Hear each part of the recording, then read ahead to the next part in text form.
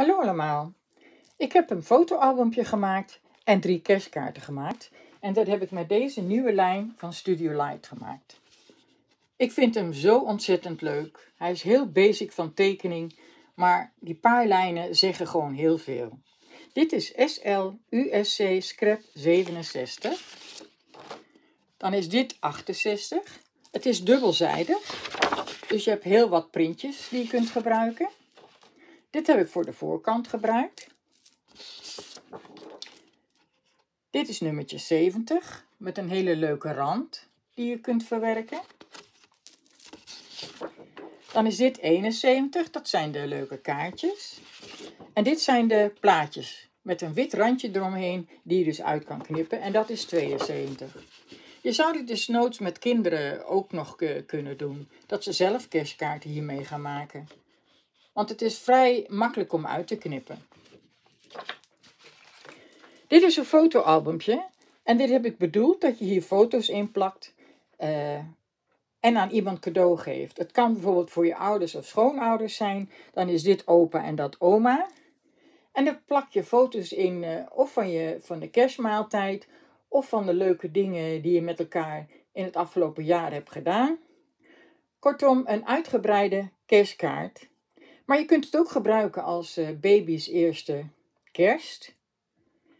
Dat je dus foto's van, van de kerst, dat je met elkaar dit allemaal aan het uh, vieren bent, zeg maar. En dat je die overal hierin plakt. En dat het dus later voor je kindje is. Dat hij een leuke herinnering heeft aan je eerst, aan zijn of haar eerste kerst. Ik ga ervan stotteren. En dit zijn dus drie kaarten. Die ga ik zo meteen laten zien. Dus dit is het albumtje. Dat kan papa of mama zijn of het kan opa of oma zijn. Dan gaat hij zo open. Dan heb ik hier een pocket gemaakt. En ik heb uh, tekstjes uh, gestempeld. Overal. En dat heb ik hiermee gedaan. Dat is SLES stamp 88. Dit is de Engelse variant, maar je hebt hem ook in het Nederlands. Dan is het nummertje 87. Maar jullie weten, ik ben gek op Engelse teksten. Dan zie je hier een heel leuk stempeltje bij dat hapje wat ik eruit heb gehaald. Dat zit bij dit setje in. Met kerstballen en hier onderin zie je dus hele leuke halve ja, guirlandes, zeg maar. En die heb ik dus overal gebruikt, behalve hier bijvoorbeeld, want dat zie je niet. Of ik had het moeten embossen, maar dat ging me een beetje te ver. Maar die heb ik dus hier gebruikt. En die zullen dus verder in het albumpje ook tegenkomen. Dan heb ik uh, hiervoor kleine tekstjes gebruikt. En die heb ik dus uit deze setjes gehaald. Die dus bij de kleine envelopjes horen. En dat is Basic SDC 55, 56, 57 en 58.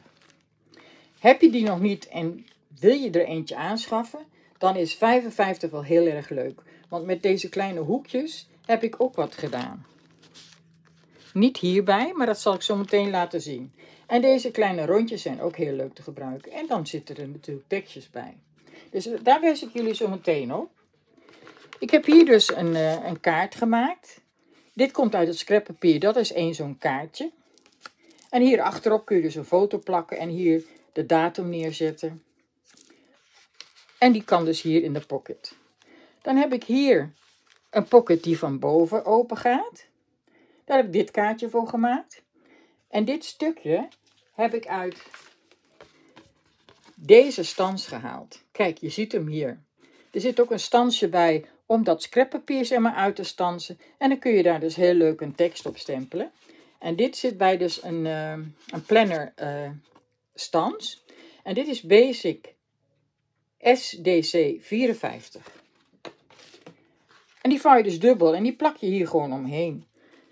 Dus dit gaat in deze pocket. Ik laat jullie zo meteen zien hoe je dit dus kunt maken. Dan heb ik hier een kaartje, zeg maar, wat kleiner geknipt, uh, drie hoekjes afgerond. Twee stempeltjes erop gezet. En dit is dan, ik zal even een kaartje pakken. Hier kun je dus dan zo een foto achter doen. Hier zie je dat, die hele leuke rand. Dan gaat hij zo open. Dan heb ik hier dus een plaatje genomen. Ik heb hem hier recht gelaten en hier langs heb ik hem dus uitgeknipt. En dan heb ik hem aan deze drie zijdes hier opgeplakt. En dan kan je dus hier dit kaartje in doen, waar je dus ook een foto op kan doen. En dit is dus waarom ik dit stempelsetje zo leuk vind. Deze zes hoekjes hier, die passen dus heel leuk als stempeltje hierin. En dit is dan weer een, eh, een tekstje uit een, uh, oh die zit bij dezelfde. Special message inside. Dit is dan een plaatje die ik geplakt heb. Dit is een, uh, weer een klein stempeltje. Ik heb dus eerst het boekje in elkaar gezet. Toen heb ik mijn plaatjes geplakt. En als laatste heb ik dus overal de teksten bij gedaan. Nou is dit natuurlijk niet moeilijk, want die is los. Maar het stempeltje hier is natuurlijk wel lastig. Dus ik heb met alles, omdat dit uh, losse flapjes zo zijn, heb ik dus deze hierin gelegd. Die heb ik dus vastgezet. En mijn stempeltje heb ik dus precies hier opgeplakt. Dan maak je hem dus open en dan beïnk je hem. Gaat even buiten beeld. En dan zet je op die manier deze stempel hier. En zo heb ik echt alle stempeltjes gedaan. En het fijne hiervan is, dat is je de eerste keer nog niet duidelijk te zien. Dan doe je gewoon alles nog een keer. Dus deze stamping tool, dat weten jullie van mijn vorig filmpje, daar ben ik helemaal weg van. En die is dus heel makkelijk om hiervoor te gebruiken. Dat heb ik dus ook gedaan. We gaan nu weer even naar het begin. Zo. Dus dat was dit. Hier heb ik een pocket gemaakt. En daar heb ik uh, twee kaartjes aan elkaar laten zitten en dubbel gevouwen. Nou, die tekst staat al op de kaartjes, dus hier heb ik verder niks aan gedaan.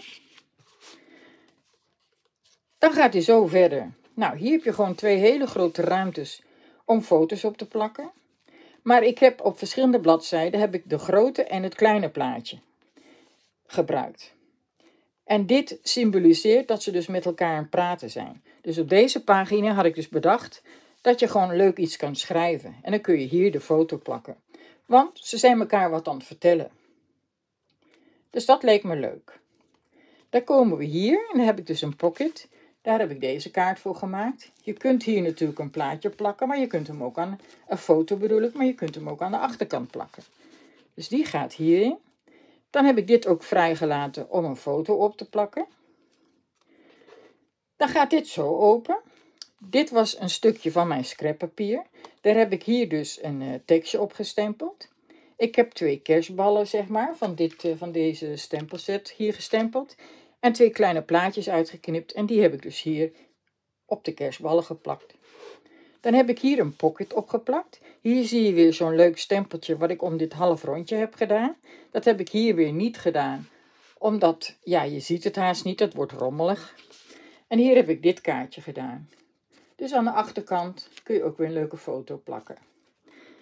En die gaat dus weer hierin. Dan klap dit dicht. Dan gaat die zo open. Nou, hier heb ik ook weer ruimte gelaten voor een foto. Hier heb ik dan een kaartje, uh, ja, een cadeautje uitgeknipt en opgeplakt. Dan is dit dus ook weer een kaartje. Die heb ik dus hier langs schuin afgesneden. Gemat op een stukje zwart. En die heb ik aan drie zijden vastgeplakt. Waardoor dit kaartje hier gewoon leuk in kan. Dat heb ik versierd met deze twee plaatjes. Een stempeltje gezet. En ook hier kan weer een foto. En die schuif je dan heel leuk hierin. Dan zijn dit weer twee pagina's waar je foto's op kan zetten. Dus dit is weer, ze zijn met elkaar aan het praten. Dus hier kun je weer leuk iets schrijven. En hier plak je dan een foto. Dan gaan we hier naartoe. Ik heb hier een pocket. Ook weer een hapje eruit en dat stempeltje gezet. En hier heb ik dus de, de vierkante kaartjes iets kleiner gesneden en gemat op dit kleurpapier. En hier heb ik een stempeltje erbij gezet. Hier stond al ho ho ho. Nou, en je ziet hier dat standje wat ik gebruikt heb. Uit dit stukje papier zo'n klein dingetje. Niet verder gestempeld, maar alleen de plaatje opgeplakt. Dat is dus een heel leuk uh, standje. Dan heb ik hier het plaatje, dat, dit is weer een deel uit het hele scrapvel. Ik heb deze twee dingetjes uitgeknipt en geplakt. En hier een stempeltje gezet. Dan gaat hij zo open. Dan heb ik hier een pocket waar ik dit kaartje in heb gedaan.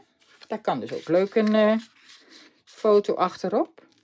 Hier heb ik wat plaatjes op, uh, uitgeknipt en opgeplakt. En hier zie je weer een van die stempeltjes. Hier kan dus een foto, hier kun je wat schrijven eventueel. En dan gaat deze ook nog eens een keertje zo open. Ik heb hier dus weer een pocket, weer zo'n leuk stempeltje gezet.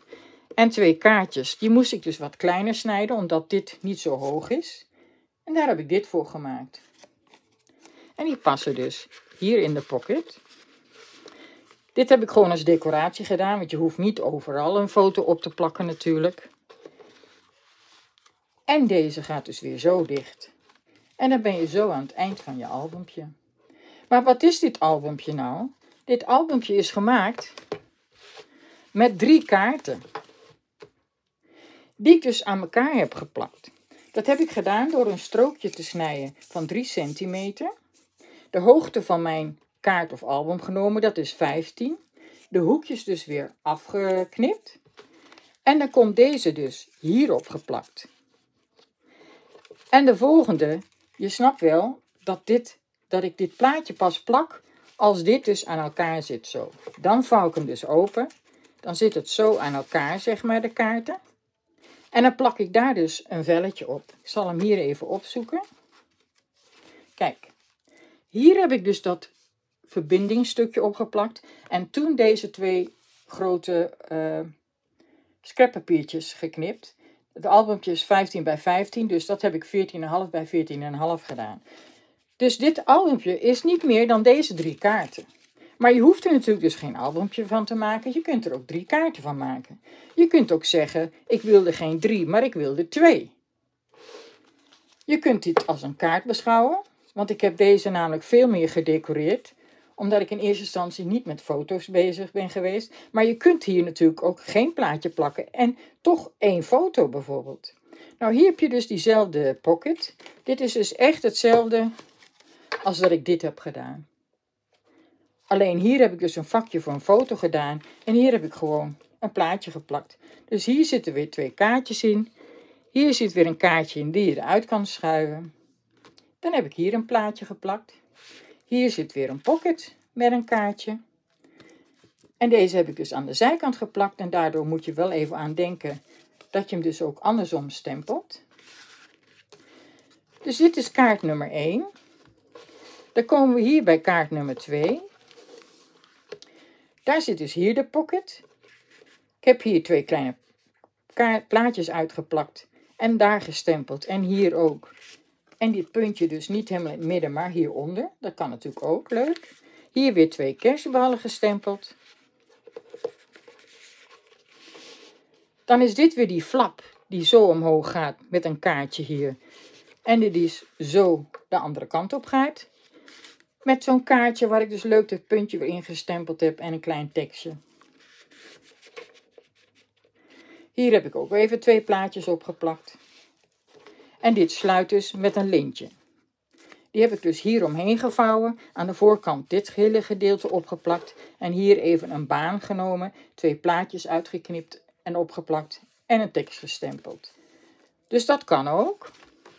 En dan hebben we er hier nog een. En die heb ik met een sluiting met een magneetje gemaakt. Dus er zit hier een magneetje onder en er zit hier een magneetje onder. Ik heb hier dus twee kerstballetjes uit het papier geknipt, een stempeltje gezet, een strookje die ik hier op heb geplakt en toen de achterkant dus op deze manier gedecoreerd. En deze gaat dus zo open, met hier een pocket. Want dit kan natuurlijk ook, dat je een kaartje maakt. En ik heb dus af en toe gewoon geen nieuw stuk papier uh, gebruikt. Maar gewoon twee stukjes zo geplakt. Want dit was niet groot genoeg. Ik denk, nou, ik neem nog zo'n stukje, zeg maar. En daar past dan het plaatje heel leuk op. Dus op deze manier verwerk je dus ook de restjes. En hoef je dus niet nog weer een nieuw stuk scrappapier te gebruiken. Dit is weer zo'n kaartje. Daar heb ik twee teksten op gestempeld. Dezelfde, maar dat is wel leuk zo, diagonaal. Dus die heb ik hierbij ingedaan. Ten slotte hebben we die. Dan is hier het andere deel. Hier heb ik bijvoorbeeld weer geen tekst gestempeld, alleen dat leuke puntje. Dat kan ook. En dan hebben we hier het andere deel. En daar heb ik hier dit kaartje voor gemaakt. Daar kun je achterop, puntje is een beetje gevouwen. Daar kun je achterop natuurlijk ook iets schrijven. En die past hierin. En die gaat met een magneetje dicht. Nu willen jullie natuurlijk graag weten hoe ik dit heb gedaan. Ik begin met deze kaart. Ik heb dus een kaart gesneden. Misschien kan ik het beter uh, met een kaart laten zien. Want tenslotte is het boekje zijn drie kaarten op elkaar.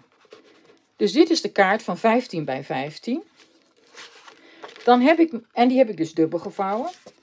Dan heb ik een stuk scrappapier genomen bij 14,9 bij 29. Want hij moet wel binnen de kaart vallen. Dus ik heb een millimeter eraf gehaald. Die ril je hier op 10 en die ril je hier op 22. Dit wordt een pocket, dus daar heb ik een, hart, een hapje uitgeponst en dit ook. Al deze kaarten, de binnenwerkjes, zijn allemaal een pocket die ik er dus in plak. Dus dit is een pocket die ik dus aan drie zijden hier inlijn. En die plak ik dus hier in de kaart. Dan ziet hij er zo uit. Dus dit is de pocket die aan drie zijden vast zit. Dit heb ik hier vastgelijmd en er komt daar een kaart in. Zie je wel? Dit is zo dubbel gevouwen, vastgelijmd en een kaart erin. En dit is hier met de pocket in de kaart geplakt. Dat heb ik dus op deze manier gedaan voor kaart nummer 1. Dan ga ik naar kaart nummer 2. Even kijken welke dat was. Deze, ja. Dus nu laat ik deze even zien. Dat is dus weer een kaart van 15 bij 15, die ik dubbel gevouwen heb. Dan heb je een stukje scrappapier nodig van 14,9 bij 27,5. En die ril je op 5 en op 17,5. Dit wordt dus de pocket waar, die ik dus in mijn kaart ga plakken. Dus daar moet even een hapje uit. En dit, zal ik even laten zien. Die zit dus hier opgeplakt. Dus dit deel heb ik aan drie zijdes vastgelijmd. En die heb ik dus in deze kaart hier geplakt. Daardoor heb je dus hier die pocket. En dit is dat deel wat je dus uit kunt klappen. Wat er dus zo in zit. Dus om eventjes, ik hoop dat jullie het een beetje zo kunnen zien. Kijk, dit heb ik dus zo geklapt. Hier heb ik dus een pocket in gemaakt. Die vouwt dus zo, die vouwt dus zo. En dan heb je hier de achterkant van je kaart. En dat heb je hier ook, de achterkant van de kaart. Dus dit is kaart nummer 2. Dan wil ik jullie kaart nummer 3 laten zien. Dat is dus ook weer een kaart van 15 bij 15. En het binnenwerkje is 14,9 bij 27,5. En die heb ik gereeld op 5 en op 15. Dit is dus weer de pocket waarmee ik uh, dit vouwwerk in mijn kaart plak. Dus ik smeer deze drie zijdes in met lijm. Ik vouw hem zo. En ik leg dit bovenaan hier in mijn kaart. En dan krijg je dus dit. Ik doe het verkeerd. Sorry, ook ik maak fouten. Dus die komt zo in je kaart. Dan zit dus de pocket hier vastgelijmd. Dit is dus het ene deel wat je dus openklapt. En aan de andere kant is het deel wat je zo openklapt. Dus dat laat ik even zien. Dit is dat vouwwerk. Die heb ik dus met een pocket hier opgeplakt. Ik heb hem dus zo gevouwen gehouden. Dit deel heb je natuurlijk nog vast. En die plak je dus zo in je kaart. En dan zit die pocket vast. En dan kun je dus dit deze kant op en dit deze kant op. En die plaatjes heb ik dus op deze manier hier een kaartje voor gemaakt. En hier heb ik een pocket gemaakt en een kaart erin. Dus dit zijn de drie mogelijkheden met dus vouwsels die ik nou net heb laten zien. Ik hoop dat ik hiermee het een beetje duidelijk heb kunnen uitleggen. En dat jullie zelf hiermee of een boekje gaan maken of kaarten gaan maken. Het is echt een hele leuke print. Dankjewel voor het kijken en tot de volgende keer. Dag!